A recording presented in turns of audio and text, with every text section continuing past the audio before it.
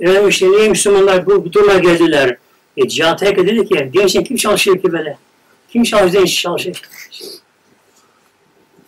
Yani bırakın dine malımızda, canımızla uğraşalım.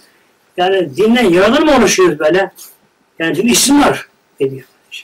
Yani dinden yararlanabilsek o zaman koşuyoruz tamam. Cenazeye oraya buraya mevzuda koşuyoruz. Çünkü azıcık azıcık azıcık bir şekilde. Halbuki Mevla ne biliyor bakınız? Dine yararlanmak değil, dine vermek. Dine vermek. Kişi ömrüne verecek, canına verecek, malına verecek, dine verecek kişi insan bunu yaparsa o zaman bak Mevlam buyuruyor, günah afoluyor. Günahlar dökülüyor.